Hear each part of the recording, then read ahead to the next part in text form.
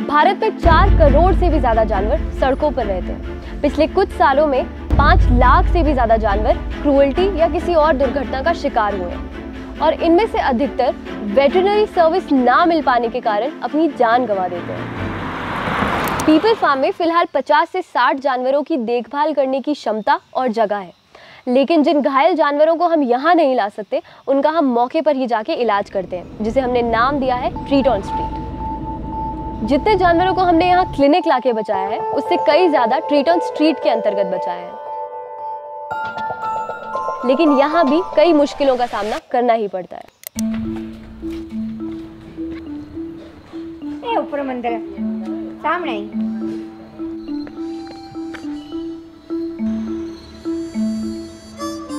Aunty जी कोई कुत्ता तो नहीं देखा यहाँ पे आपने?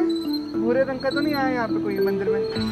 तो नहीं कोई आपने यहाँ पे बहुत बार ऐसा होता है कि हमें कोई फ़ोन करता है कि कुत्ता ज़ख्मी है या गाय ज़ख्मी है तो उसको आके देख लो। पर जब हम कभी आते हैं यहाँ पे तो वो नहीं होते यहाँ पे। तो ऐसे में जो बंदा फ़ोन कर रहा है जिसको एम्पैथी है टुवर्ड्स एनिमल्स तो वो फ़र्स्ट ट्रीटमेंट सीख ले थोड़ी सी। जब हम ना पहुँच पाए या तो हम आए वो ना मिल पाए तो वो उसका इलाज कर पाए ताकि उसको प्राइमरी ट्रीटमेंट तो कम से कम मिल सके।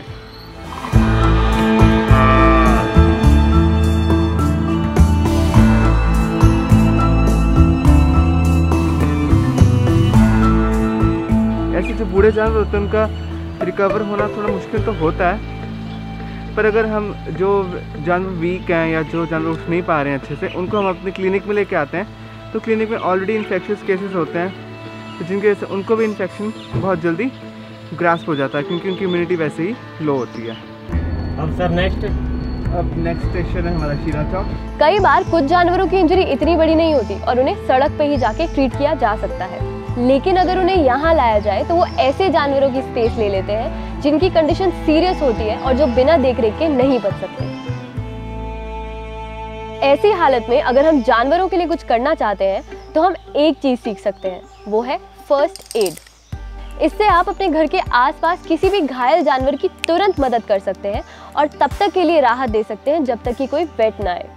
साथ ही आप अपने पड़ोसी और स्थानीय लोगों के साथ एक कॉन्वर्सेशन शुरू कर सकते हैं और उन्हें भी जानवरों के प्रति संवेदनशील बना सकते हैं। देखिए किसी की मदद करने के लिए किया हुआ कोई भी काम, चाहे वो छोटा ही क्यों ना हो, कभी व्यर्थ नहीं जाता। अगर आप भी इस बात से इत्तेफाक रखते हैं तो आप भी फ़र्स्ट एड सीखिए और इस वीडियो को शेयर ज़रूर कीजिए।